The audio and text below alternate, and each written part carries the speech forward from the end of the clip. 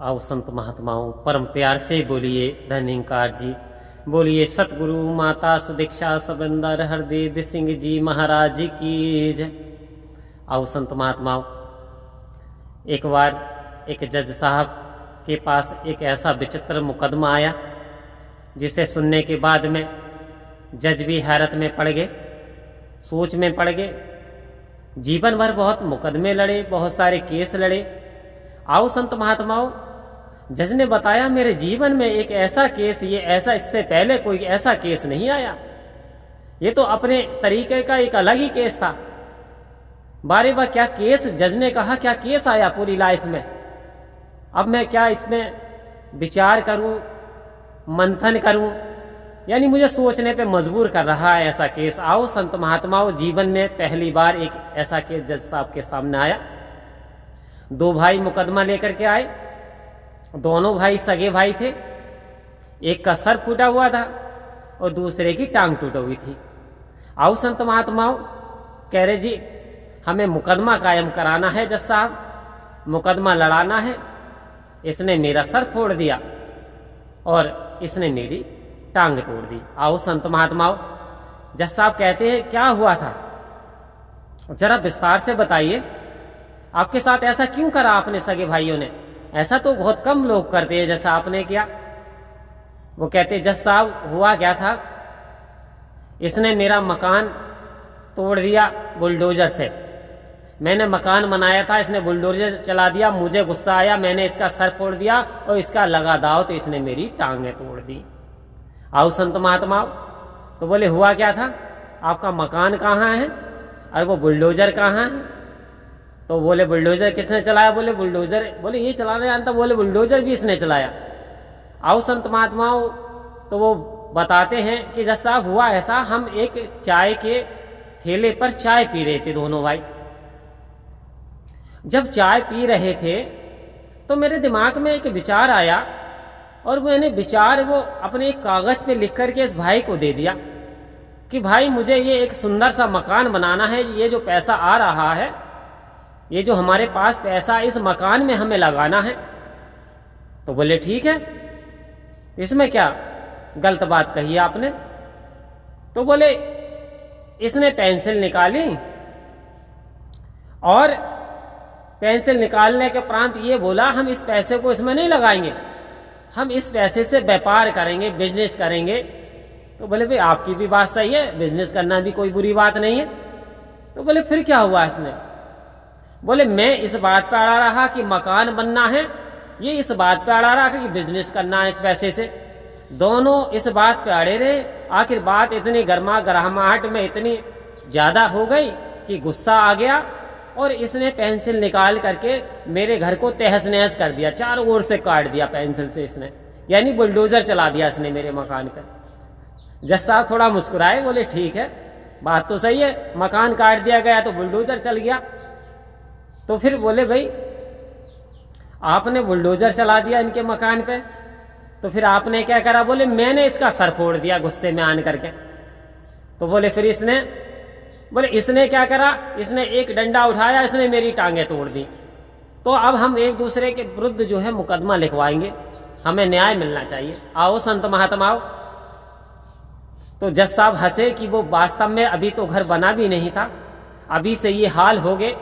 कागज़ी घरों में इतना तो आओ संत महात्माओं, हम क्या कर क्या रहे हैं?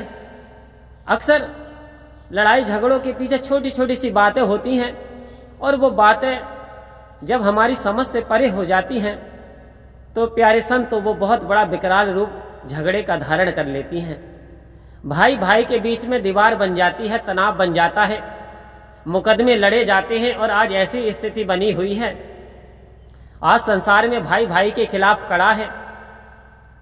आओ संत महात्माओं तो अभी वास्तव में क्या है? हमने अपने जीवन में निरंकार को आत्मसात नहीं किया है। अभी वास्तव में हम ब्रह्म ज्ञान को जान नहीं पाए हैं। आओ संत महात्माओं, एक बच्चे को, फ़र्स्ट क्लास नर्सरी वाले बच्चे को पिक्चर के ज़रिए समझाया जाता है, बेटा ए फॉर एप्पल। तो वहाँ एप्पल की तस्वीर दिखाई जाती है, ये एप्पल है। लेकिन आओ संत महात्माओं को उस बच्चे से पूछे कि एप्पल का स्वाद कैसा होता है तो उस बच्चे को नहीं पता कि एप्पल का स्वाद कैसा होता है। क्योंकि उसे तो रटाया जा रहा है कि ए फॉर एप्पल कि एप्पल में सेब होता है। आओ संत महात्माओं, ठीक इसी प्रकार से। ज्ञान लेना केवल जानकारी ही करना इतना ही है कि ये निरंकार है। आओ संत महात्माओं, जब तक हमने इसका स्वाद नहीं चखा, अब स्वाद क्या, कैसे चखना? आओ संत महात्माओं, क्या हम निरंकार को ग्रहण कर सकते हैं? जी हाँ हम निरंकार निरंकार का स्वाद चख सकते हैं। और जिस दिन हमने स्वाद चख लिया तो उस दिन हम आनंद ही आनंद होगा हमारे चहु और आओ संत महात्माओं, सतगुरु हमें इशारा दे रहे हैं कि हमें इस निरंकार को अपने अंदर आत्मसात करना है। आओ संत महात्माओं, तन मन धन निरंकार का है तो हमें इसे, इसके सुपुर्द कर देना है। अब जब तन मन धन तीन चीज़ें निरंकार को दे दी तो संत महात्माओं, फिर हमारा बचा क्या? फिर लड़ाई झगड़े की इंसान के पास तीन ही वस्तुएँ होती हैं। या तो किसी का मन दुखी होता है, या फिर तन से दुखी होता है, या फिर धन से दुखी होता है। इन्हीं चीज़ों के ऊपर दुनिया में बैर, विरोध, लड़ाई, झगड़े, मान अपमान वाली बात चली आ रही है और लड़ाई झगड़े बढ़ते चले जाते हैं। तो आओ संत महात्माओं, जिस मानव में मान नहीं है, उस मानव का मान है तू। आओ संत महात्माओं, मान को त्याग दीजिए तो आपका मान ये निरंकार बन जाएगा। तो संत महात्माओं, आज हम ऐसी गलती ना करें। आज केवल जानकारी लेने मात्र से काम नहीं चलेगा कि मैंने ज्ञान ले लिया। और फिर वही बात जानकारी की वक्त आती है कि भाई, ज्ञान लेने के उपरांत भी तू पीड़ित व परेशान क्यों है? तो बात वही आती है कि एक जो ब्राह्मण ब्रह्म ज्ञान दे करके चले गए और उसने उस पारस पथरी को गांठ में बाँध करके और रख दिया। ब्राह्मण देव ने कहा, एक साल बाद आऊँगा, जितना चाहे इतना सोना बना लेना और अपनी कंगाली को दूर कर लेना। आओ संत महात्माओ, वो हम जैसा तुच्छ बुद्धि व्यक्ति उस पारस पथरी को कपड़े में बाँध करके रख देता है, जिस बर्तन में रखता है, वो लोहे का था, वो भी सोना ना बन पाया। जब महात्मा एक साल बाद रिटर्न होकर आता, उसकी कंगाल भरी हालत देख करके बड़ा उसे आश्चर्य में पड़ जाता है। बोले भाई क्या हुआ? वो तो पारस पत्री थी।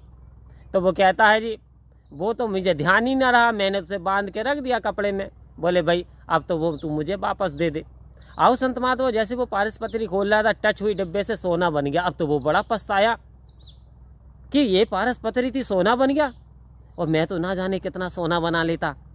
आओ संत महात्माओं ये जी हीरा जन्म जो एक एक श्वास ये जो ही, जन्म यानी ये श्वास इस जन्म में निरंकार ने दे दी, ये हीरा हैं, ये वैल्यूएबल हैं, ये पारस पत्री है, निरंकार का सुमरण।